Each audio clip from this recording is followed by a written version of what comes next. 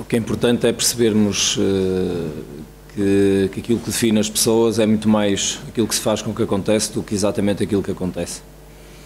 O Rio Ave fez um percurso bonito, com, com, com, com duas eliminatórias de um grau de dificuldade extremo. Naturalmente que é normal que toda a gente tivesse expectativas que nós conseguíssemos hoje vencer, também nós as tínhamos. Agora eh, seria, seria hum, de todo penalizador se nós não tivéssemos feito por isso. Uh, penso que a equipa teve uma atitude excelente ao longo de todo o jogo. Foi a equipa que quis ganhar o jogo desde o seu primeiro minuto. Foi a equipa que conseguiu, eh, de facto, resistir até momentos de grande agressão, como significa uh, sofrer dois golos e ir para um prolongamento.